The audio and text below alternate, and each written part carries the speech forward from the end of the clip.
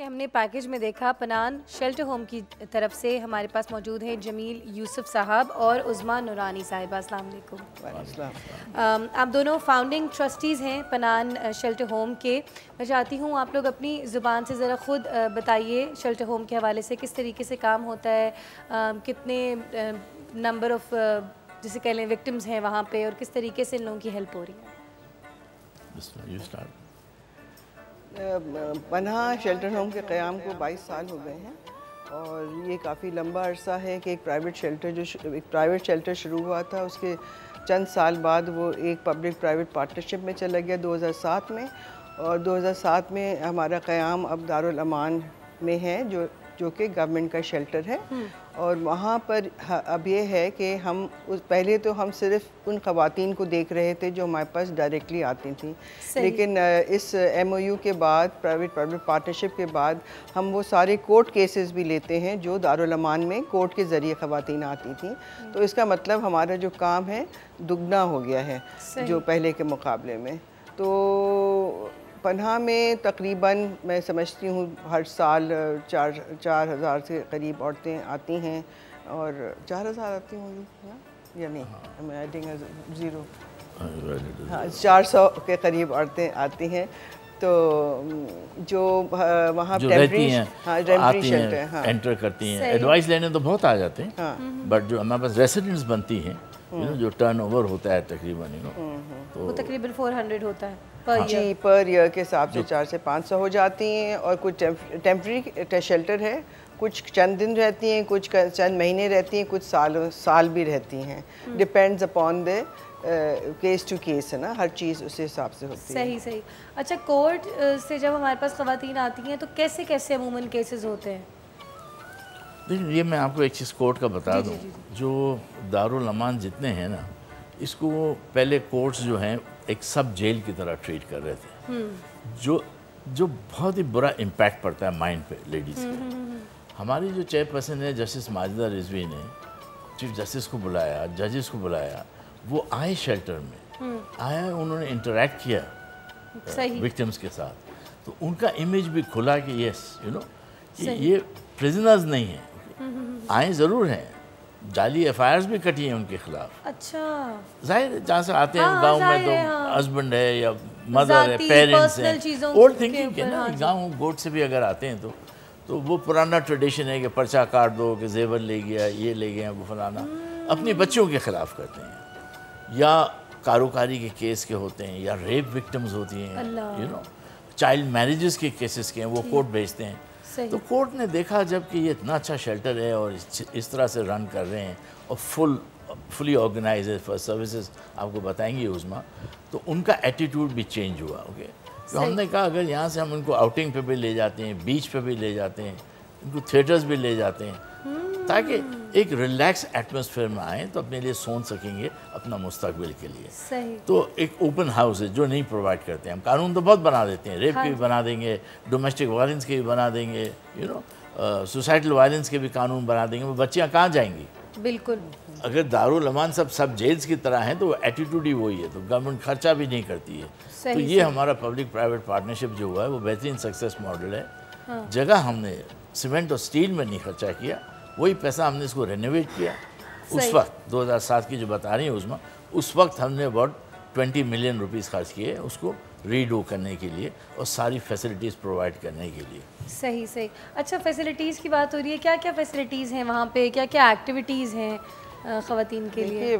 एक तो जब खातून आती है हम उसको कभी वो कुछ अपने सिवाय तन पर जो कपड़े होते हैं वही लेकर आती है ना और बुरे हाल में आती है कभी ज़ख्मी भी होती बच्चे है, भी आते हैं बच्चे बच्चों के साथ आती हैं ख़वातीन जो तो उनको भी हम लेते हैं और हम्म। जैसे हमारे यहाँ हर वक्त हर महीने पंद्रह से बीस बच्चे भी होते हैं और तीस पैंतीस से चालीस औरतें भी होती हैं हर महीने। तो उस हिसाब से जब वो आती हैं हम उनको फ्री किट देते हैं फौरी तौर पर और कपड़ों कपड़े देते हैं उनको ताकि और ताकि वो अपने आप को साफ़ सुथरा रख सकें।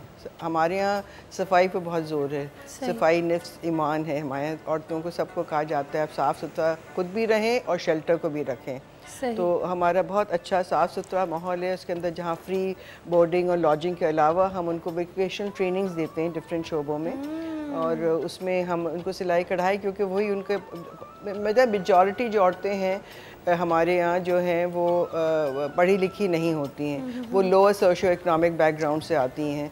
तो उनकी जो स्किल्स होती हैं हम उन्हीं को इन्हेंस करते हैं। जो सिलाई कढ़ाई है आर्ट्स एंड क्राफ्ट्स हम करवाते हैं उनकी मेंटल वेलबींग के लिए। वो रिलैक्स फील करती हैं।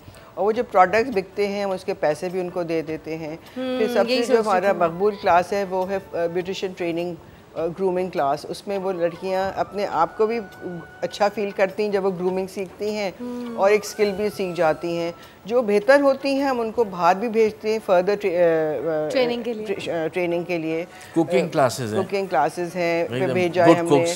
शेफ्स हाँ, तो एडवांस क्लासेस भी होते हैं उनके और जो बेसिक हम सिखाते हैं वो भी हो रहे होते हैं। फिर इनफॉर्मल एजुकेशन रोज़ सुबह बच्चे और औरतें दोनों के लिए एक टीचर आती है जो उनके साथ क्लासेस करती है। हम्म। तो जो जो औरत बिल्कुल कभी उसने शायद कलब भी नहीं उठाया होता है जब वो हमारे शेल्टर से निकलती है तो कम अज़ कम अपना नाम लिखना सीख जाती है और बेसिक नंबर सीख जाती है। तो वो she feels very good about itself एक पॉजिटिव इमेज के साथ वो जाती है। और यही हमारा मकसद है कि जब यहाँ से कोई औरत जाए तो एक पॉजिटिव इमेज लेकर जाए अपने बारे में क्योंकि माशरे ने तो उसको इतना उसके साथ तशद किया होता है घर में शोहर के हाथों ससुराल के हाथों फादर के हाथों भाइयों के हाथों हर तरफ़ से तशद के शिकार हमारी औरत बन जाती है। और यहाँ तो जब स्किल सीख लेते हैं तो मेरा एक डायलॉग होता है उनके साथ कि बेटा अभी तुम पेपर बैग बनाना सीख गई हो कपड़े बनाना सीख गई हो ब्यूटिशन कोर्सेज किए हर जगह हर लड़की को चाहे गाँव की हो उसको ब्यूटीफुल लगना तो उसका शौक होता है। होता है तो हाँ। मेकअप भले दो सौ रुपये लेंगी तो ब्रेड अर्नर कुछ तो मिलेगा ना। तो मैं तो उनको मज़ाक में कहता हूँ कि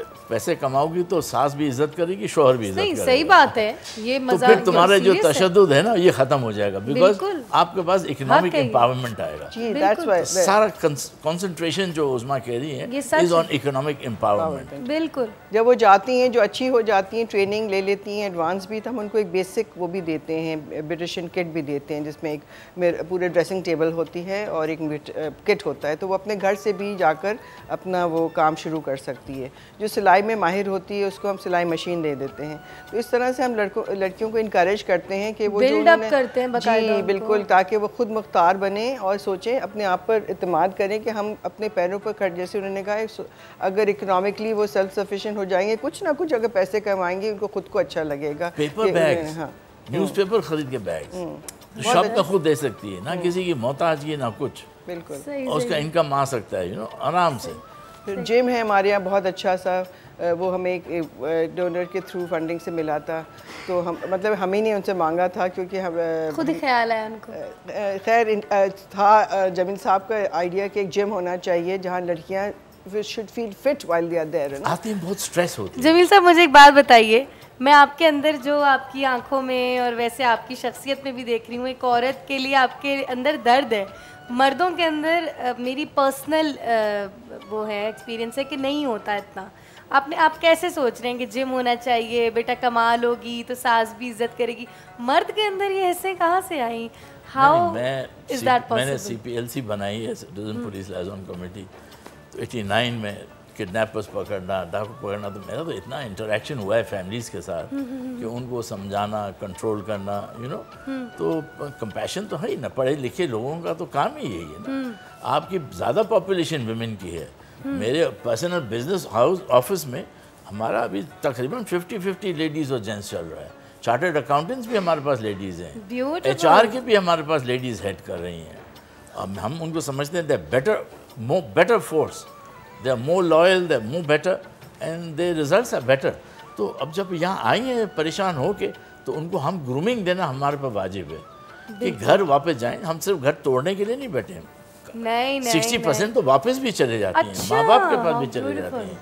हस्बैंड भी आता है यहाँ उसको काउंसलिंग करते हैं। हस्बैंड की भी काउंसलिंग होती है। काउंसलिंग होती है पेरेंट्स की काउंसलिंग होती है। साइकोलॉजिकल काउंसलिंग हाँ।, हाँ जी हाँ। जहाँ वायलेंस होता है घर में वहाँ फिर ये लोग फुट डाउन करते हैं। बिल्कुल बिल्कुल रिस्क नहीं ले सकते बिल्कुल बिल्कुल। बट अदरवाइज़ तो ज़ाहिर है हस्बैंड की काउंसलिंग होती है वो आते हैं देखते हैं पुलिस वाले हैं ये है अभी बच्ची को मालूम पड़ गया हम कहते हैं ये एक फ़ोन करें कि हम आके अरेस्ट करा लेंगे। जजेस का देखिए ये मुल्क में कहते हैं ना दस दस साल तक जजमेंट नहीं होती। इन्हीं बच्चों के केसेस तीन महीने से चार महीने में होते हैं। माशाल्लाह, ज़बरदस्त। छोटी सी ब्रेक पे जा रहे हैं, हम वापस आएँगे बरकत रमज़ान में और अपनी गुफ्तु जारी रखेंगे। बरकत रमज़ान में वापस आ गए हैं। एक नेकी सेगमेंट इस वक्त चल रहा है और पना शेल्टर होम से हमारे साथ जमील साहब और उज़मा साहिबा, जो कि फाउंडिंग ट्रस्टीज़ हैं, वो आए हैं, तशरीफ़ लाए हैं और बता रहे हैं इस शेल्टर होम के हवाले से। और मैंने अभी ख़ुद ज़ाती तौर पे भी कुछ पिक्चर्स देखी, इनका एक बुकलेट देखा, मैं बहुत हैरान हुई बहुत खुशी मुझे हुई। कि हमारे पास जिस तरह के शेल्टर होम्स हैं यकीन मानिए कि एक तक, तकलीफ़ में भी इंसान हो तो वहाँ जाने का दिल नहीं करता क्योंकि उसको पता होता है कि यू नो इससे बेहतर तो चलो घर में ही मारें खा लो वहाँ जाके जो हाल होना है। तो मैंने देखा मुझे यकीन नहीं आ रहा था कि इतना ज़्यादा खूबसूरत इन्वायरमेंट और वहाँ पे इतनी सारी फैसिलिटीज़ अवेलेबल हैं। ख़वातीन के लिए ही नहीं बल्कि ख़वातीन के साथ औरत की बात आती है तो औरत के साथ बच्चा तो एक लटक के आता ही है ना वो साथ आता है। काफ़ी सारे। हाँ वो बच्चे जो हैं वो औरत के साथ जुड़े होते हैं। अच्छा बात हो रही थी आपने जैसे अभी ज़िक्र किया उज़मा साहिबा के साइकोलॉजिकल ट्रीटमेंट्स भी होती हैं। ज़ाहिर है एक औरत जब एक तकलीफ़ ट्रॉमेटिक सिचुएशन से ज़िंदगी में गुजर रही होती है तो ही वो आती है शेल्टर होम में। वहाँ इसको आ, हम देते हैं काउंसलिंग उसकी अपनी भी और उसके शोहर के साथ भी देते हैं। यानी कि उसको मैरिज काउंसलिंग भी देते हैं कि कोशिश करते हैं कि वो घर अपना बसा ही ले। ये नहीं कि तुड़वाने के लिए जैसे कि जमील साहब ने बोला तुड़वाने के लिए नहीं सिर्फ़ जुड़वाते भी हैं घरों को दोबारा से। ये बताइए कि काउंसलिंग की तरह क्या वकील की भी सर्विसेज़ यानी कि कोई सोलिसिटर्स भी होते हैं हमारे पास जो कि उन, उनका केस डील करते हैं या इस तरीके से भी उनको? हाँ, उनको तो पता ही नहीं होता ना लॉ के बारे में। नहीं आ, हमारे पास तो पूरी एक लीगल टीम है जो प्रो बोनो सर्विसेज़ देती हैं लेकिन जो भी कोर्ट के अखराज होते हैं वो पनाह को बैर करना पड़ते हैं। तो इन सारी सर्विसेज़ के लिए ज़ाहिर है हमें फंडिंग की तो ज़रूरत रहती है और आपने देख लिया कि स्टैंडर्ड का हमने चला रहे हैं शेल्टर्स में साल में दो या तीन दफ़ा लड़कियों की आउटिंग्स कराते हैं। फिर हम इंटरफेथ हामनी में बिलीव करते हैं यानी कि हम सारे त्यौहार बनाते हैं चाहे वो न्यू ईयर हो ईद मिलादुलनबी हो ईद की अभी ईद होएगी तो ईद मिलन पार्टी होएगी फिर दिवाली है रोज़ क्रिसमस सारे त्यौहार बनाते हैं। हर मज़हब होते हैं और हम चाहते हैं कि हम जिस अच्छा माशरे में रहते हैं वो औरतों को उनको पता चले कि यहाँ ये सारे मज़ाहब के लोग एग्जिस्ट करते हैं and we need to respect each each one's religion तो इसीलिए हम सारे ये त्यौहार मनाए जाते हैं। और लड़कियों को हम कभी फार्म हाउस ले जाते हैं। अब ऐसी हम जगह ले जाना चाहते हैं जहाँ सेफ़ भी हों कुछ इधर उधर नहीं हो जाए लड़कियाँ क्योंकि कोर्ट के ज़रिए आती हैं हम कोर्ट को आंसरेबल होते हैं। तो फार्म हाउसेज़ में हम लोग पैसा खर्च करके वहाँ फार्म हाउसेस बुक कराते हैं। जब छोटी सी थोड़ी सी लड़कियाँ थी तो हम बीच पर ले जाते थे लेकिन अब तो माशाल्लाह बहुत ज़्यादा हो गई हैं तो हम ऐसी एरियाज़ में जाते हैं। वो कौन सा अलादीन पार्क था वो हमारे लिए रिज़र्व कर देते थे वहाँ जाते थे। अक्सर तीन साल में दो कोविड की वजह से ज़रा रुकावट हो गई है लेकिन साल में दो या तीन एक्टिविटीज़ होती हैं जैसे उन्होंने कहा थिएटर्स भी मूवी हाउसेस भी ले गए हैं थिएटर दिखाते हैं ड्रामा एन जी अपने प्रोग्राम्स करते हैं आर्ट्स काउंसिल में वहाँ ले जाते हैं उनकी अवेयरनेस रेजिंग होती है। शीमा किरमानी जैसे लोग हमारे यहाँ का परफॉर्मेंस भी करते हैं। और एक और फरा करके एक यासमीन करके एक डांसर है उसने भी आकर परफॉर्मेंस की। Because all that is good for the body and for the well being and yoga होती हैं। तो लोग आते हैं अवेयरनेस रेजिंग करते हैं on health on reproductive health on um, uh, uh, you know how Hospital to communication all these things you know एक उनकी ओवरऑल एक हॉलिस्टिक हमारी अप्रोच होती है कि वहाँ से जब औरत निकले तो वो एक कॉन्फिडेंट औरत निकले वहाँ से नज़र आता था। बहुत ज़्यादा। आप उसकी तस्वीर देखें जब वो आती है और जब वो जाती है जो तस्वीरों से फ़र्क ज़ाहिर हो जाता है। अच्छा ये बात कि आपने जैसे कि बताया था कि ये टेम्प्रेरी मतलब शेल्टर होम है ना। मगर कुछ खातन इसमें दो दो साल भी आपने बताया कि रहती हैं। तो जब ये वापस जाती हैं बिलफर्ज देखें यहाँ पे तो वो खातन आती हैं मैंने खुद अपनी ज़िंदगी में ऐसी कई औरतों को देखा है जिनके आगे पीछे कोई कफील नहीं होता। ना बाप होता है ना भाई होता है शौर होता है छोड़ देता है बेटे को भी छीन लेता है तन तनहा औरत होती है। या ऐसे भी घर हमारे पास होते हैं कि हमारे यहाँ तो बच्ची को शादी करते हुए रुखसती के वक्त कहा जाता है कि बेटा तुम्हारी मैयत ही आए वहाँ से। या अब कबर में जाना है तुमने शोहर के साथ वापस नहीं आना। तो यही है। ना? यही हमारा तो बर्दाश्त करती हैं वो। बर्दाश्त करती हैं। तो जब जिनके आगे पीछे कोई नहीं होता अब हमने उनको वसाइल भी दे दिए अर्निंग के और हमने उनको सिखा भी दिया उनको फ़न दे दिया। वो किसी की मोहताज नहीं है। उसके बाद हम उनको एक वो कैसे अपना फिर जीना कैसे शुरू करती हैं जब वहाँ से निकलती हैं? अगर कुछ उसके पास किधर और जाने की नहीं है तो किधर एम्प्लॉयमेंट दिलाना भी कोई प्रॉब्लम नहीं है। हम्म। इसको इंडिपेंडेंट करने का भी मसला नहीं है यू you नो उसको इंडिपेंडेंट कर सकते हैं पेइंग गेस्ट की तरह रह सकती है। और दूसरी चीज़ जो है जो ये पहला शेल्टर है जिसमें ट्रांजिशनल होम भी है। अगर कोई कोर्स एडवांस करना चाहती हैं ब्यूटिशन का ये वो तो एक साल हमारे पास रह सकती है। अब वो शेल्टर के साथ ही है हमारा। काम भी जा कर सकते काम पे जा सकती है सुबह शाम को आए रहे ना उसको खाना पकाने की फ़िक्र है ना कुछ है। एक साल में कुकिंग क्लासेस सिखाते हैं एडवांस शेफ्स बना रहे हैं। ये तो लग रहा है किसी जन्नत का है। कि हाँ, आ, मैं मंजर है। रही हूँ। एक जन्नत का मंजर है। जैसे आपको बताया में ओएसिस है सही बात कर रही ये एक ओएसिस है वहाँ पर बिल्कुल। हाँ। हमारी जो चीफ चेयरपर्सन है जस्टिस हैं उन्होंने जो अच्छा काम बेहतरीन काम जो था जजेस को बुलाया उन्होंने। हम्म। जो जजेस यहाँ बैठ के आके उनके किस्से कहानियाँ सुनी है ना उसके बाद उनका माइंड सेट भी चेंज हुआ है। बिल्कुल वही बात है। कंसेप्ट था दारुल अमान का लाइक अ प्रिजन खराब औरतें हैं औरतें अपनी औरतों को खराब समझती हैं आप देखिए। आप लोग का दुश्मन खुद हैं। अच्छा। मर्द की तो आप बात कर रहे हैं मर्द से ज़्यादा तो औरत दुश्मन है औरत की। सही सही। वो जितने आप देखिए चले जाइए दारुल आप देखिए कैसे रखा जाता है पोजीशन जो पावर एक्चुअली ये पावर डायनेमिक्स की बात होती है इट्स नॉट औरत। औरत अगर एक औरत जब एक सास होती है तो वो एक पावर की पोजीशन में होती है कभी। तो हम्म। वो उसको लगता है कि वो फैमिली वायलेंस होता है ना हमारे जेंडर को दरमियान में नहीं लाना चाहिए। जो बुरा होता है वो बुरा होता है। हम्म। वो हर जगह बुरा होता है। समझते हैं जो बच्ची दारुल में गई है उनको बहुत नहीं कैसे पहुँची क्यों? समझते खराब हाँ जी घर से भागी हुई अरे भाई ये देखो अभी वो हमारे पास एक डॉक्टर आई है वहाँ से। डॉक्टर आई है उसकी मंगनी पहले हुई भी है। लड़का भी आई लम्स में पड़ता है अच्छा हाँ, खासा अच्छा। है उसको उससे शादी नहीं करनी थी कज़न भी है उसका। अच्छा। वो हमारे पास आ गई सही। फुल फ्लेज क्वालिफाइड डॉक्टर है। हाँ। रही यहाँ उसके पेरेंट्स को समझाया शी वांटेड टू ब्रेक अब उसको जॉब भी दिला दिया हमने। मैं देखता हूँ कैंसर हॉस्पिटल बेतल सुकून उसको वहाँ मैंने एम्प्लॉयमेंट भी कर दिए। तो शी इज़ नाउ इंडिपेंडेंट ज़बरदस्त ब्यूटीफुल वर्क हॉस्टल में रहेगी वो एंड वो कैंसर का अच्छा, है तो ऑनकोलॉजी भी सीखेगी। इनशाला इनशाला may Allah bless you for that जो ख़वातीन हमें अभी इस वक्त देख रही हैं और अगर वो खुद नहीं तो किसी ऐसी औरत को जानती हैं क्योंकि अमूमन हमारे घर में जो हाउस हेल्पर्स होती हैं ना बहुत तकलीफ़ों में आते हैं। आप औरतें आपको पता होगा कि कितनी तकलीफ़ों में हाँ। आप यकीन करें कि जमील साहब मैंने कई मास मतलब हाउस हेल्पर्स को देखा कि सुबह आती हैं कहती हैं बाजी जिसम में बहुत दर्द है मैं होती हूँ क्यों? मेरा शौहर रात को नशा कर कर आया था तो मुझे बहुत पीटता है। हम्म। मैं कहती तुम रहती क्यों उसके साथ? तुम खुद कमाती हो नशे के लिए पैसे मांग रहा था मैंने दिए नहीं तो मारता है। तुम छोड़ दो उसको। मतलब अगर ऐसा है तो है ना? ये बताइए कि जो खातन हमें देख रही हैं उनको हम कैसे अवेयरनेस देंगे कि वो रीच कैसे कर सकती हैं वो यहाँ पे कैसे आ सकती हैं ज्वाइन कैसे कर सकती हैं? इसके बाद हम अपील की तरफ़ जाएँगे। आप हमारा जो नंबर है उस हम्म। पर कॉल करें। पनाह जो है ट्वेंटी फोर सेवन कोई भी विक्टिम हो आयशा मंजिल वो वहाँ आ सकता है। आयशा मंजिल उसका एक वो पॉइंट है जिस वहाँ पर लोकेटेड है ये। हमारी वेबसाइट है। अगर ज़ाहिर है जो अनपढ़ हैं वो अगर नहीं पहुँच सकते बाहर हमारी वेबसाइट पर सारा उसका डिटेल्स हैं। तो जो भी आना चाहे वो बग़ैर किसी झझक के आ सकता है। 24 घंटे वहाँ पर एडमिशन्स होते हैं हमारे। और जैसे आपने बताया डोमेस्टिक हेल्प अभी मेरे पास एक छोटी सी बच्ची आई है। उसकी माँ यहाँ काम करती थी। उसने उसको बुलाया है गाँव से। तीन बच्चे छोड़कर आई है वहाँ। चौथा बच्चा बाप मियाँ शौहर ने ऐसा मारा कि वो बेचारा उधर ही मर गया से गिर के।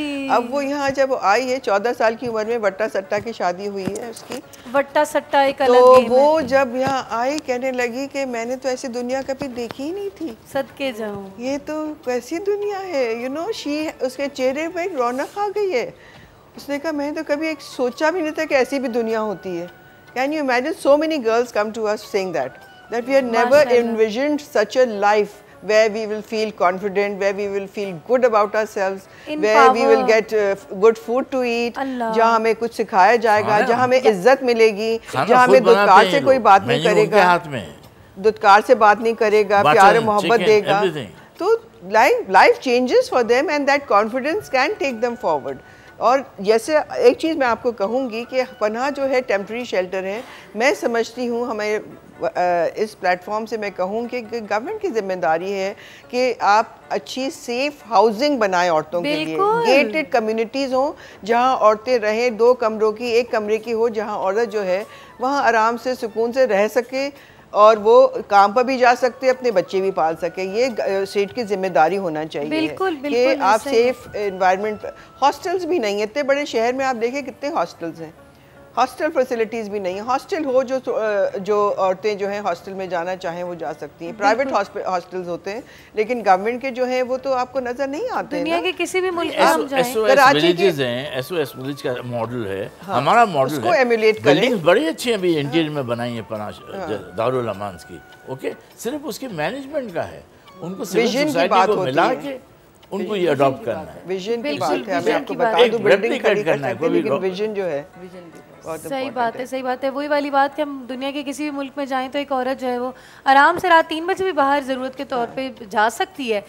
किसी भी मुल्क में जाएँ सऊदी अरेबिया में भी निकल सकती है ईरान में निकल सकती है यूके यूएस में निकल ईरान तो सबसे बेस्ट एग्जांपल ईरान आप यकीन करें मैं गई जियारतों के लिए। गाड़ियाँ जा रही हैं हाथ देते हैं गाड़ियाँ रात तीन बजे आराम से मुझे बच्चे का दूध लेना था मैं स्पार शॉप पे गई और मैं आ गई। मैंने कहा मेरे पाकिस्तान में तो ये हमारे लिए नहीं अवेलेबल और जो लोग फिर इंडिविजुअली अपने पर्सनल कैपेसिटी में रहते हुए ये सारी चीज़ें करें हमें चाहिए कि हम उनका साथ दें और इनके साथ मिल के खड़े हों।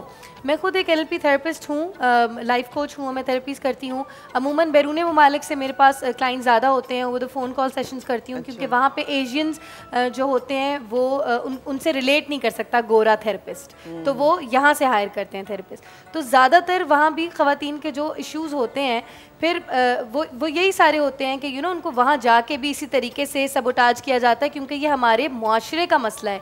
मैं उन बाहर की खातन को ये कहूँगी कि अगर आप दर्द या तकलीफ़ में रही हैं तो अपनी दर्द और तकलीफ़ को महसूस करते हुए इनकी भी दर्द, तकलीफ़ को महसूस करें। ज़्यादा से ज़्यादा लोग डोनेट करें, इनके साथ खड़े हों और इस कार खैर में शामिल हो।